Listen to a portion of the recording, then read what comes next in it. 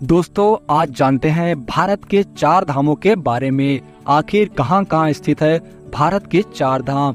भारत एक ऐसा देश है जहाँ बहुत से पौराणिक एवं सांस्कृतिक स्थल मौजूद है। इन महत्वपूर्ण स्थलों में चार धाम तथा बाबा भोलेनाथ के बारह ज्योतिर्लिंग बहुत प्रसिद्ध है। लोगों का मानना है कि चार धाम की यात्रा करने से उनको मोक्ष, यानी कि जन्म मरण के बंधन से मुक्ति मिल जाती है। काफ़ी लोगों में ये भी कंफ्यूजन है कि आखिर भारत के चार धाम है कौन कौन से? क्योंकि भारत के चार धाम और उत्तराखंड में भी चार धाम है। किंतु आज हम भारत के चार धाम जो कि मुख्य चार धाम है, उनके बारे में जानेंगे। नंबर एक, बद्रीनाथ धाम, उत्तराखंड। ऐसा माना जाता है कि भगवान विष्णु के अवतार नर व नारायण ने यहाँ पर कई वर्षों तक घोर तपस्या की थी। इसके अलावा यह धाम उत्तराखंड की चार धाम में भी शामिल है। नंबर दो, द्वारिकाधीश मंदिर गुजरात। भगवान कृष्ण द्वारा स्वयं द्वारका नगरी को यहाँ पर बसाया गया था। लोग मानते हैं कि भगवान श्री कृष्ण की मृत्यु के बाद द्वारिका नगरी समुद्र में विलीन हो गई थी। नंबर तीन